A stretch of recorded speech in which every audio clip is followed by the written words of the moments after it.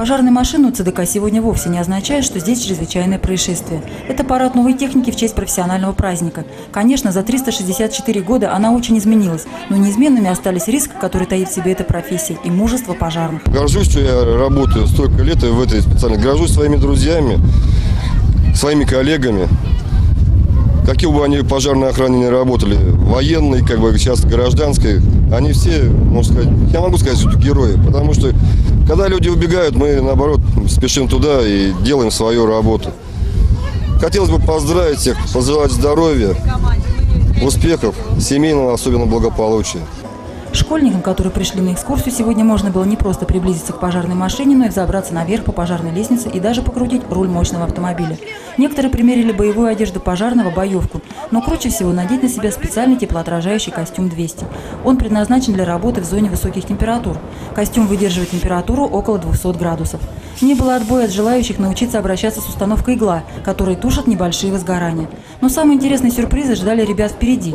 Пожарные продемонстрировали им проведение работ по спасению пострадавших в ДТП, разрезая автомобиль гидравлическими ножницами, а затем тушили условный пожар. После практического урока сотрудники подразделений пожарной охраны принимали поздравления с профессиональным праздником на торжественном мероприятии. Ты просто шел потом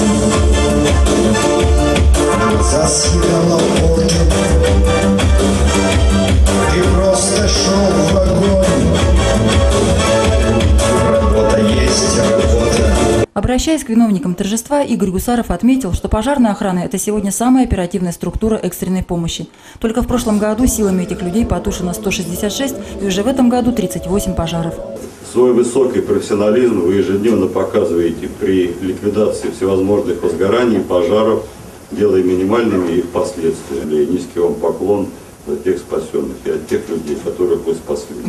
Сотрудники подразделений пожарной охраны принимали многочисленные поздравления от городских властей, депутатов, администрации соседних городов и, конечно, от своих старших коллег-ветеранов. Вы мне родные дочери и сыновья.